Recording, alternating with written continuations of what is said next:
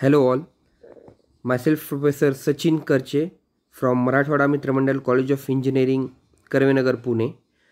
I would like to welcome all of you for this presentation which is under International FDP on Environmental and Sustainability which is known as Online Education for Better World and which is organized by DY Patil College of Engineering, Akurdi. Now my topic fourth week presentation will be case study of green building and different IS standards related to green concept or greening of the building. Now these are some of the details of my first week video. Uh, the video contains in brief are contribution of uh, regular buildings in construction, uh, regular building construction to increase, how they increase the carbon footprints then study of green buildings different rating systems used in green green building and brief introduction of these rating systems. In the second week video i have covered contribution of the building towards degradation of the environment how buildings contribute to degrade the environment then what is the role of green building particularly as a remedial measure for this particular thing. Then uh, which are the standards? Right. Standards uh, is nothing but the rating systems uh, which are LEED and griha indian systems and then comparison between LEED system and griha system. Now these are some of my video outcomes uh, buildings have a big impact on environment. As we all know that poorly constructed poorly designed buildings contribute more towards the uh, degradation of the environment whereas green building promotes efficient use of all the resources all the energy then it reduces bad impacts of normal building on the environment and it uh, preserves precious natural uh, resources and which improves the quality of the life. Uh, these are the list uh, it is a list of different iso standards which which are related to green uh, building. Now as we know that green building is nothing but the building where we use the different technology different thing which promotes green technology. Okay so um, uh, for example if you are using uh, water uh, in normal building and using water in green building. So in green building we use very less water. We use the water efficiently right? For as far as energy is concerned so we uh, preserve energy we use uh, less energy less electricity. So uh, as far as materials are concerned we use eco-friendly materials the materials which has very less or no impact bad impact on the environment. So different is codes or uh, we can say is standards uh, related to these things are some of them are listed here. So very first is iso 21930 uh, 2017 is the edition which which promotes sustainability in the building and other civil engineering works then ISO 14000 we know that it is mainly related to the environment management and which provides guideline for establishing good practices for combating land degradation and desertification. Then ISO uh, 14001 which which uh, deals with environmental management systems uh, requirements with the guidance for use which covers overall frameworks audits communications, labeling, life cycle assessment, and uh, the methods to mitigate and adapt to the climate change. Similarly, uh, these are another uh, ISO that is another standards which deals with different thing. Um, I like to mention uh, some of them uh, like this last one ISO 15392 which which mainly deals with sustainability in the building construction. Okay? Next thing is carbon footprint.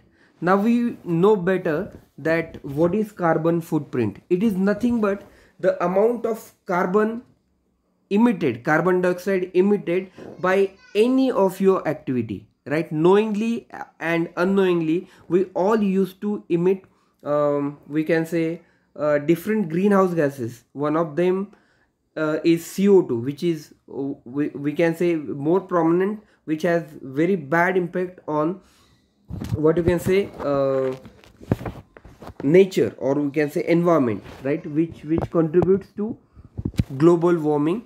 Now uh, technically speaking carbon footprint is nothing but amount of co2 emissions associated with all the activities of a person or other entity that is building uh, uh, any country any building anything etc it includes direct emission such as those that result from fossil fuel combustion in manufacturing, heating, transportation as well as emissions required to produce an electricity associated with goods and services consumed. In addition to carbon footprint, concept also often includes the emission of other greenhouse gases such as methane, nitrous oxide and chlorofluorocarbons which are briefly called as CFCs. Now we know that these are the uh, other uh, contributors to what we can say global warming or increasing carbon footprint. But as we discussed earlier, CO2 is a main contributor. That's why it is called as carbon footprint. Though it related, it is related with the another components also like methane, uh, nitrous uh, oxides or uh, CFCs. Now let's have a look at method of calculation. Now in calculating we need to multiply use of input by emission factor to calculate each footprint. Okay so uh, all use inputs are per individual and include things like fuel use, distance, calorie consumption and expend expenditure.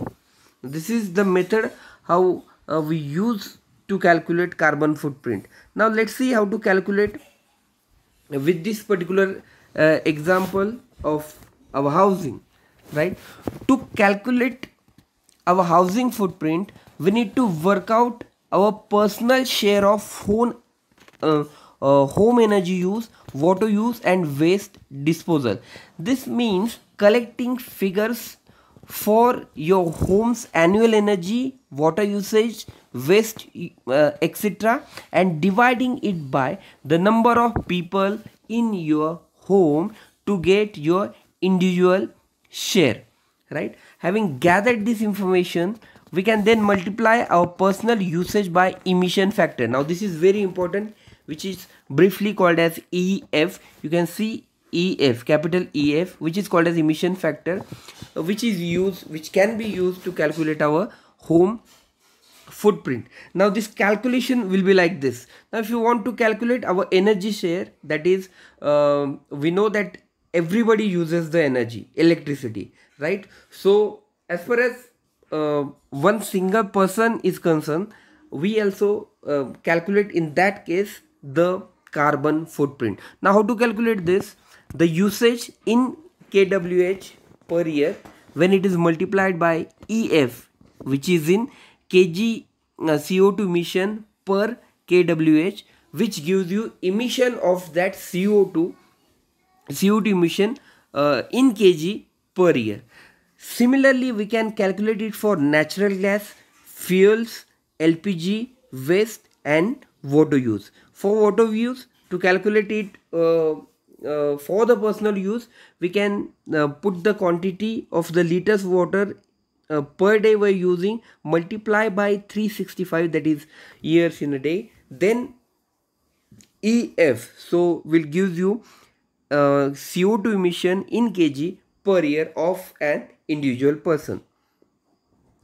Similarly we know that uh, we used to travel by uh, maybe sometimes our with our personal vehicle private vehicle then sometimes bus metro railway taxi. So we can calculate a carbon emission in these particular cases. For example if you take example of vehicles you can put the distance uh, traveled in kilometers per year. Again it divided by um, we can say ef so we'll get the emissions per year. Then similarly for food now we know uh, it's very hard to believe that every every everything that we eat uh, from right from its uh, what we can say production when and uh, the final stage that is when it reaches to us. So in between that particular product consumes lot of energy. So with the calculation of this particular energy we can calculate the uh, uh what we can CO2 consumed uh, per unit of the particular food. So these are the some of the uh, foods uh, mentioned here with the uh, calculation of CO2 emission which contains fruits oils snacks drinks different dairy products then meat okay? So using this particular formula as we have discussed earlier uh, we can calculate the per capita uh, what we can say um, CO2 emitted with the intake of the particular food. Now as we know that building is composed of many materials which are called as different building materials. No now in green building uh, the plan is to use the material which has very less impact on the particular environment. So to know or to use the uh, eco-friendly materials one should know the contribution of conventional or regular uh, what we can say materials to the uh, emission of greenhouse gases. So if you take example of conventional concrete it consumes 0.95 mj per kg. So this is the energy consumed by concrete whereas it emits um, per kg. It is quantity again in per kg 0.13 kg of co2 emission. Can we believe this? So this is what we can say. Sorry. This is the what we can say amount of co2 emitted by 1 kg of concrete along with the energy consumed. So for uh, in case of bricks 3.0 is the consumption and 0.22 is emission in case of wood 8.5 is consumption and 0.46 kg per kg is the CO2 emission. So we can uh, list out these particular materials where we can see virgin aluminum takes lot of energy and which contributes very very very much into the emission of carbon dioxide. So it's our duty not to use virgin aluminium in your building. Nowadays aluminium uh, use of aluminium has increased. Now uh, now we know that instead of using any other uh, um, uh, materials we are we are just randomly using aluminiums for the making of uh, doors windows partitions. So we should stop that.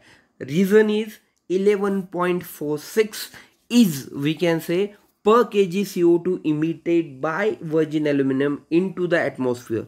So our aim is reducing use of these particular conventional materials and use of green materials, eco-friendly materials in the building. So automatically when you use the eco-friendly materials, your building will be green building. So this is our aim now uh, these are some of the things that we have mentioned or discussed earlier. So i will not go in uh, deep inside this. So we know this the fact. So i have kept this side uh, slide only um, for the connection purpose. So it will only act as a connecting uh, bridge because these things i have already covered in my first two videos. So we know that uh, why to green the building? The answer is buildings are the major contributors to the depletion of the environment. That's why uh, we are going to uh, means focus on greening of the building. It uses more than 50% of the resources total resources and contribute again to the uh, uh, means uh, polluting in polluting environment again in more than 50% so this is these are some facts which are taken from a griha manual that it uses 40% of global energy 42% of global water and 50% of raw materials. It contributes 50% of world's air pollution 42 greenhouse emission 50% water pollution 48% of solid waste and 50% of cfcs can we believe this?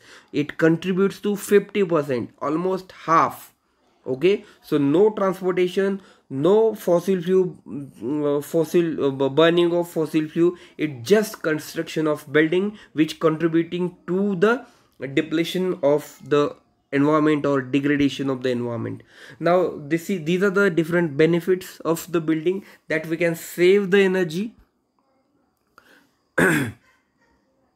Now uh, in second uh, video also briefly introduced with the griha system and LEED system. Okay so which these are the evaluation st stages of the uh, griha which is developed by TERI right? Pre-construction stage planning and construction stage and operation and maintenance. Okay so greening of your building starts right from the construction stage pre-construction. Okay right from surveying to the maintenance then these are uh, the features of uh, LEED India. And these are the different uh, ca categories in which it grades the building. Sustainable site water efficiency energy and atmosphere material and resources indoor environmental quality and innovation and design. Now uh, based on these six factors we are going to analyze our case study that is yamuna building now these are the different steps of the certification and now we'll start with the uh, case study of Yamuna. Now Yamuna is a building name of the very famous group that is Kirloskar Brothers. Uh, it is nothing but the corporate office of Kirloskar Brothers which is situated in Baner, Pune and it has got LEED platinum build uh, grade LEED platinum grade which is the topmost uh, what we can say uh, rating which this building has achieved. Now uh, we'll see the first page uh, phase phase uh, I must say of any uh, construction of any building is nothing but the surveying or preparation of the site. Now the preparation uh, greening of the building as we have discussed starts from what we can say preparation of the site preparation of the site. Now first topic uh, we must we must take care of that is we must stop erosion of the soil and sedimentation. Now how to how to uh, means uh, prevent this soil erosion? So in Yamuna they have used different systems like use of sedimentation trap where we can uh, trap the sedimentation we can trap the soil uh, stabilized uh, entrance permanent compound wall. Now before starting the construction they have constructed the permanent compound wall. So as to prevent the soil erosion and sedimentation. Then next is uh, major followed post construction. Now after construction they have used um, geotextile fabric in terrace gardens use of rainwater harvesting pits planting of shrubs and periodic maintenance. Now these are the very important uh, steps with which we can um, prevent sedimentation and erosion. Now this is how they have uh, prevented this thing. Construction of compound wall we can see the compound wall as well as the sedimentation trap. These uh, techniques technologies are used just to prevent erosion. Erosion of the soil erosion of the ground. Then uh, rainwater uh, recharge pit. We know that uh, very few uh, water is available for drinking and farming purpose. That we can uh, call it as a fresh water so it is i think in point point 0.7 or something. So rest of the water is saline water or in the form of glacier. So we uh, it's our duty to conserve the water right? Don't let water flow into the river and uh, to reach into the oceans. So we must recharge the groundwater.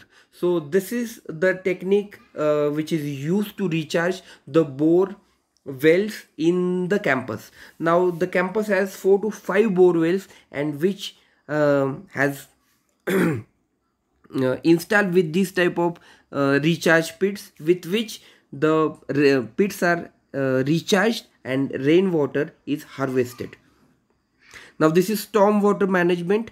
They have used these uh, type of blocks which allows uh, the water to percolate inside the ground and which becomes finally part of the groundwater. Uh, interlo interlocking blocks also used for the same purpose. Now if you use co concrete surface uh, water just storm water just flow on it and there is no percolation of the water and it finally meets to the ocean right? So uh, conservation of water by constructing this type of uh, interlocking uh, blocks is very important. So as to uh, means ensure the percolation of the water. Then uh, to reduce pollution they have used they're using the peoples in the building uh, or we can say the employees of uh, Kirloskar Brothers they're using continuously public uh, transportation. They're using alternative alternative fuels. They are uh, means doing carpool. They are parking as per local areas and this is this is to keep the footprints minimum. Then water conservation as we have discussed earlier they've used uh, stormwater uh, with the help of stormwater management uh, the water wells are recharged and which enables uh, the gardening or maintenance of uh, uh, landscape in a better way there there there there are just as we have discussed four rainwater harvesting pits which are being recharged. They use grass paver, uh, pavers for parking area to improve uh, perviousness uh, use of more interlocking paver blocks and use of more uh, landscape or the open area so as to uh, facilitate the percolation of the water that we have discussed earlier.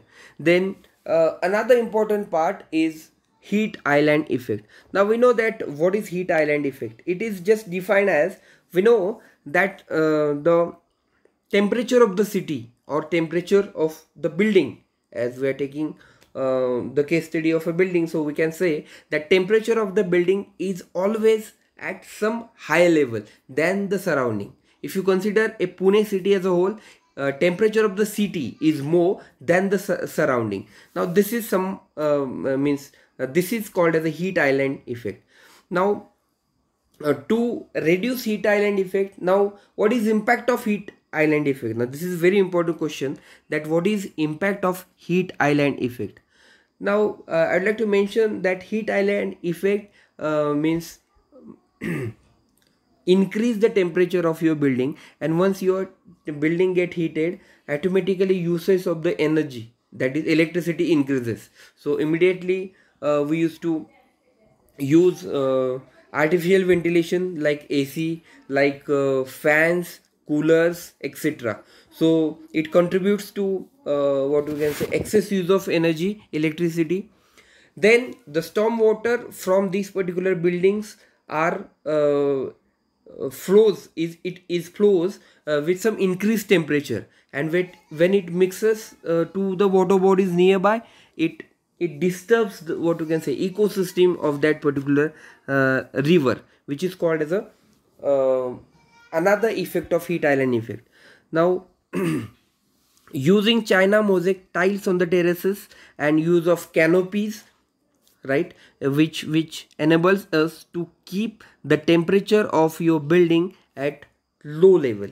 Now these are the china mosaic tiles used on the terrace so as to reflect the uh, sun rays and so as to keep uh, keep the temperature of the building as low as possible.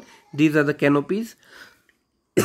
Sorry now optimum use of water that is water cons conservation is very important. As we know that um, they used um, water treatment plants. We can sewage treatment plants okay? And that water treated water sewage uh, uh, the water effluent after treating the sewage it, it is used for gardening purpose. So they have eliminated 100% uh, usage of fresh water good water potable water for landscaping purpose. So sewage treated sewage water is used for landscaping. Then uh, for the uh, uh, greater efficiency they also use drip irrigation sprinkler uh, systems irrigations where whenever uh, and wherever possible. Again they have used uh, sensor operated taps and different what we can say plumbing fixtures these are the canopies installed and the China mosaic tiles used on the terrace. The next part is conservation of energy. Now conservation of energy is also uh, important part. This can be achieved by using green roof, use of double glazed units, using fabric canopies and use, using day lighting and occupancy sensors. Again use of uh, renewable source of energy. They have installed solar photovoltaic systems on the terrace which generates around 2.5 of the total energy which building uses. These are the electricity consumption analysis of the Yamuna which we can say total units are very much less than the design or desired units. This is a study of six month then again uh, they are observed very much uh, what we can say uh, conservation of the water and they have reduced the usage of water. The next important part is reduce reuse and recycle. Now to reduce the demand of virgin materials and to reduce the waste KBL has used more than 5% of the total of the materials uh, which are salvaged, refurbished and reused. They used the material from their previous buildings. Many of the furniture in Yamuna is we can say just refurnished, refurbished uh, which which were previously at some another place. So brickbat and china mosaic from demolished buildings of uh, the previous their previous office and uh, which is used for waterproofing of the terrace. They've used antique furnitures. The storage units sofas uh, are reused.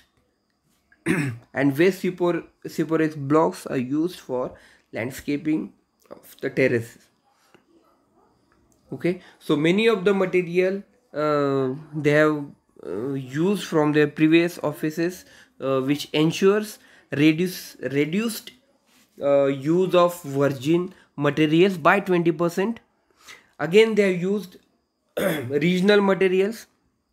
Around 80% of the materials used were regional uh, that is within the radius of 800 uh, sorry it's not kilometer it's meter 800 meter uh, so as to reduce the uh, transportation then they have used certified wood for the better performance. Then this is how uh, the brickbat that is bricks are previously used bricks are used here. And this is the furniture which is refurbished from the previous office. These are the different uh, uh, th this these are the FSC certified flooring which is used to prepare this badminton court. And uh, another furniture. Illumination by natural light that is which we can say daylighting. So as to reduce use of electricity this is task lighting. So uh, if you are not at your place you can switch off your light that is called as a task lighting.